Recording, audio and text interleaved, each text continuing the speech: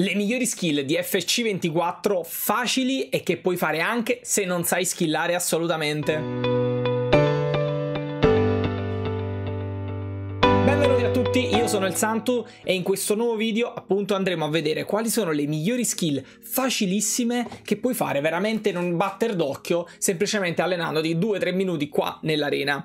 Allora, eh, come vedete lì in fondo vi ho messo il pad a sinistra e a destra sia di Play che di Xbox, così entrambi potete vedere quali sono i tasti da premere perché come potete ben vedere vi si illuminano i tasti anche per entrambi i controller. Intanto però ti ricordo come sempre di lasciare un like perché per noi è importante importantissimo iscriverti e attivare le notifiche per non perderti altri video come questo durante tutto l'anno. Voglio iniziare a dirti che quest'anno è abbastanza semplice skillare, è una cosa molto utile, almeno adesso nelle prime fasi di gioco, perché nel momento in cui vediamo le difese molto chiuse o comunque quegli avversari che difendono bene, skillare è uno dei presupposti per entrare all'interno di questo tipo di difese o semplicemente per creare nuovi scenari che magari prima non avevate mai visto. Hanno introdotto una serie di skill quest'anno molto utili, molto semplici semplici e che secondo me sono molto efficaci. Inizierei però proprio con la cosa più standard di questo mondo che è la suola. È la skill più basica e più utile di tutte quante e che ti serve per rallentare da quando sei in corsa o semplicemente incamminata per spostare il pallone sul piede buono del giocatore o semplicemente per cambiare direzione del corpo senza dover fare quelle animazioni macchinose. Come si fa? Mentre stai camminando analogico destro verso una direzione, verso l'alto o verso il basso, oppure se sai verso sinistra o verso destra. Molto semplice. Quando è utile? Quando per esempio sei sulla fascia, stai correndo, vuoi rallentare, immediatamente fai l'analogico verso l'alto o verso il basso e cambi subito direzione. Oppure mentre stai utilizzando il nuovo dribbling, la nuova velocità controllata, mentre stai così lasci l'analogico e usi il um, ball roll, la suola. Partendo da questo presupposto andiamo a vedere le successive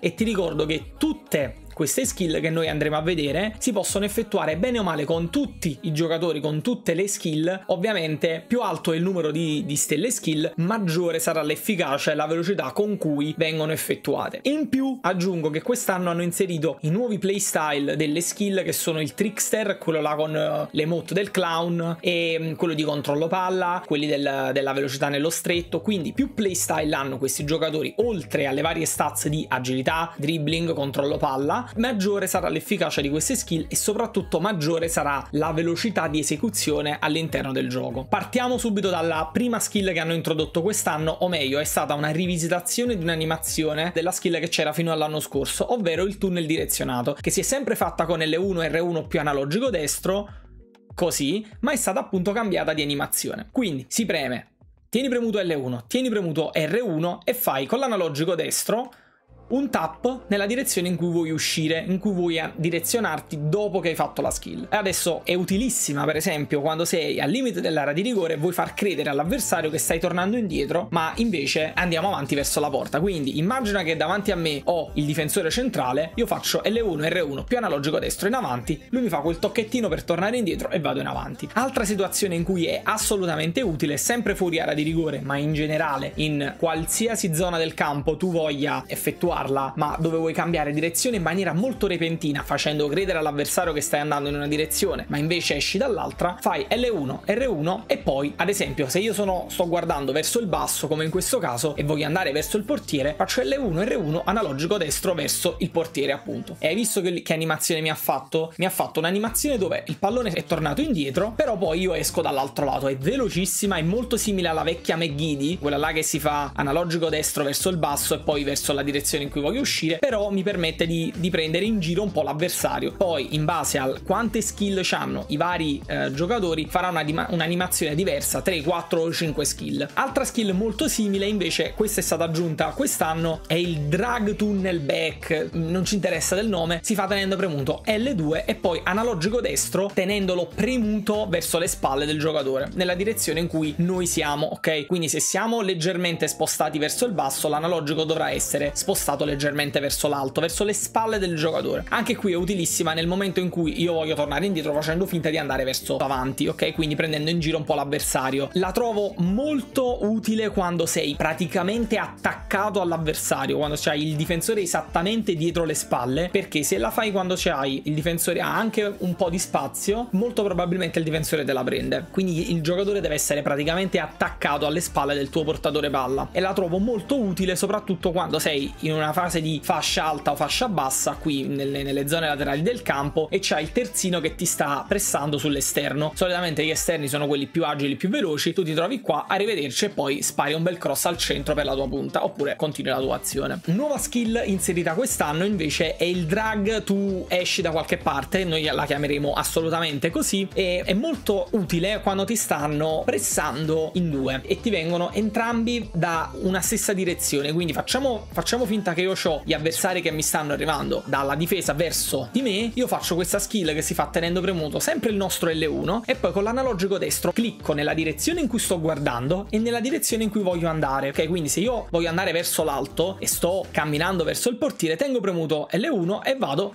avanti e su. Voglio ricambiarla e voglio andare verso destra, verso il portiere, sto guardando però verso l'alto, quindi faccio tengo premuto L1 analogico destro verso l'alto e poi analogico destro verso il portiere. Serve appunto per uscire da, da, situazioni di pressing molto scomode e per cambiare direzione in maniera quasi repentina. Questa anche è molto utile in fascia perché ti stanno pressando magari il terzino e il difensore centrale da una stessa direzione. Io voglio rientrare subito nel centro del campo per poi passare il pallone verso un mio compagno che sta arrivando a rimorchio dal centrocampo oppure semplicemente per prepararmi a un tiro a giro. Immaginate che io sono in questa zona del campo, faccio la mia mia skill, arrivo qui e poi preparo il tiro a giro sul secondo palo. Molto simile a come si fa la finta Hohe, questa è copyright assolutamente mio. Già un paio di anni fa era utile, vi ho fatto anche qui il video un paio di anni fa per questa skill. Tieni premuto sempre L1 e poi analogico destro un piccolo tocchettino verso la direzione opposta a cui, vog cui vogliamo andare e poi un piccolo tocchettino verso la direzione in cui vogliamo uscire. Questa è di una semplicità estrema ma che ti permette di cambiare direzione in maniera repentina repentina e puoi farla veramente in tutte le zone del campo e ti serve per prepararti, ad esempio io la utilizzo tantissimo al prepararti al tiro di esterno dentro l'area. Sto guardando così, faccio questo e poi tiro di esterno, che adesso sono arrivato troppo sotto al portiere e vabbè. Oppure per esempio anche qui se mi voglio preparare al tiro a giro,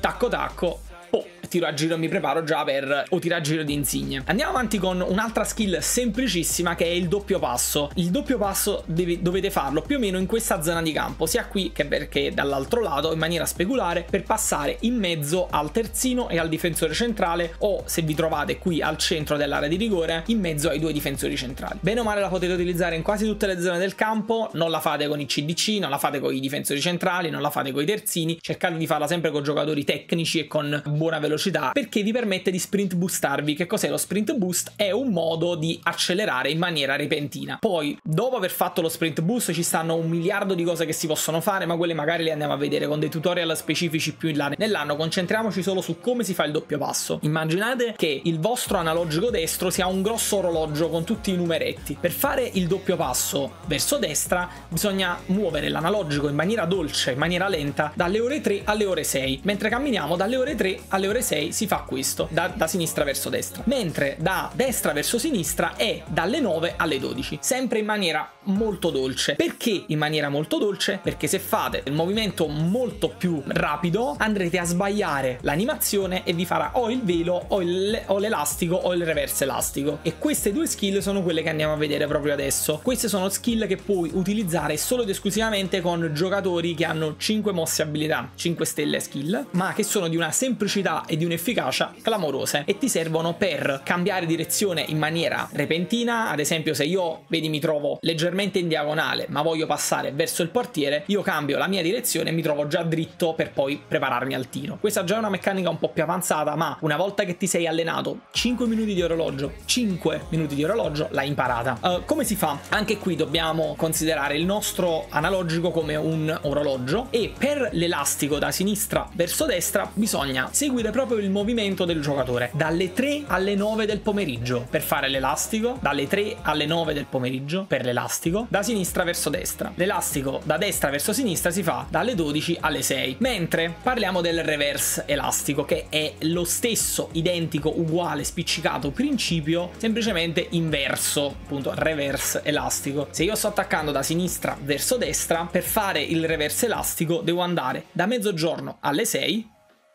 Invece reverse elastico verso, da destra verso sinistra dalle 9 alle 3. Molto semplice. Vi ricordo solo una cosa, che dall'anno scorso se il giocatore è mancino l'animazione ve la fa con il piede sinistro. Quindi troverete delle leggere differenze, ma secondo me sono un vantaggio perché voi le vedete poco spesso, ma le vede poco spesso pure l'avversario e quindi potete prenderlo un attimo alla sprovvista. È una cosa che vi capiterà poco spesso, dipenderà dai giocatori che usciranno quest'anno, considerando che Marez, Di Maria sono andati tutti in campionato campionati esteri o comunque non sono proprio molto utilizzabili. Eh, magari durante l'anno metteranno dei giocatori con piede cambiato o semplicemente altri giocatori e, e vedremo, vedremo queste animazioni.